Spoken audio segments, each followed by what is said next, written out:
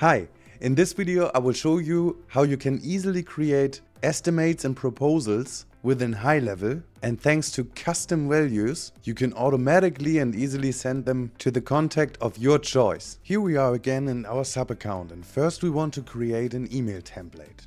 For this we go to marketing emails templates. Here we create a new template at the top right under new, but for this example we use one of the existing ones. For example insurance. And we take the one on the right here. Select continue. Then it will load briefly and we are right in. Here we could first adapt our logo. Click on it once and use the pencil here for the editing function. Then we could select our logo from the library. In addition, we can change all individual images, texts, buttons and so on here. We now assume that I have already done this. Here we might then write, we are here for you, your insurance team.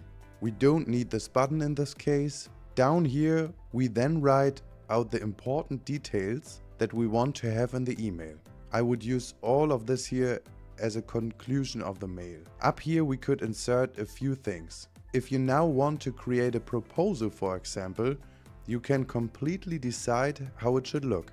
But it is important that you definitely include a link to this offer in the email and for this we now take a text for example. We can simply insert it here using drag and drop. Now the font is black. With a blue background we prefer to use white font. We can also set bold font. Actually we have heading here. I also removed that and now comes the big trick. We go up to the symbol, custom values, scroll down to proposals, that's exactly what we need now. Here you can first decide that the URL of the offer comes in here for example. Maybe we will put a text above it, make the font white again and write proposal 4. Then I would select contact full name under custom values. Then you automatically have the full name of the client to whom you are sending this proposal. Next, I would insert something again here. We can make it yellow and write open your proposal now. There are many more options here that you should test. For example, you can select the type here.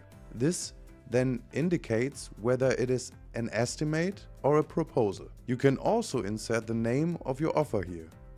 We can add another text here. I make it white and bold again. And then we put name here. If we call this proposal test proposal now, test proposal would also be here. Last but not least, I would like to point out that you could also insert the currency and the price directly in the template. But this can also be seen via the link that we have already inserted to the template. We will enter it anyway for this test. Total amount, then a space, and here comes the second custom value. Proposals, currency symbol. In my case it is a euro symbol, as I offer my products in Europe. So now it's finished. We call it proposal template and save everything. We have already created half of it. Next we go to payments and then you have the option proposals and estimates. There is nothing available here at first, but you can also click at new at the top right. Here you can decide between estimate and proposals. To my knowledge, the proposal is just more detailed, mostly with additional legal texts, etc. Since the two are identical in structure, we now take estimate for our example. Here we can now easily decide how the whole thing should look. This builder is just as simply structured as all the others in HighLevel. First we insert an image here at the top, which we can select again on this image symbol and then we take this picture. It doesn't fit the topic at all, but it's just an example. Next we insert a text here, your estimate. Then we could insert a video, a page break, which we can also do here on the plus then I would put the product list up next. Here we click on add item and now we have to make sure that we have already created products in HighLevel. For example, I have now stored my white label software as products. Don't be surprised, as I said, it is set to euro for me.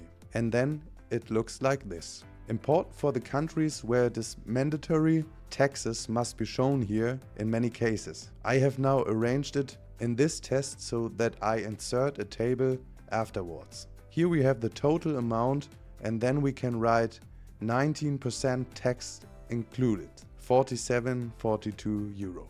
You can enter everything as you want it. Now I want to insert something underneath. All through we could make a page break, but since I only need a small thing, it might be better if we shrink the image a bit. Now we can insert the signature box at the end. Now we assume that it is finished and click on save. You can use it from now on for all your clients. Then we go back again and we have finished the presets so far. Now I can briefly show you the following. Up here on products you can add your products. That's why it was displayed for me earlier.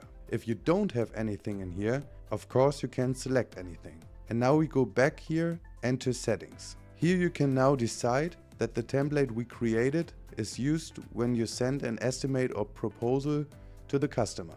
In addition, you can create a second template which you deposit here. This is then sent when the customer has signed. You now save the whole thing. Now we go back and search under the drafts for what we have just created. Open it again. Then we can choose the contacts here. I will take myself. Then I save everything and can also send it directly from here. Now it says success.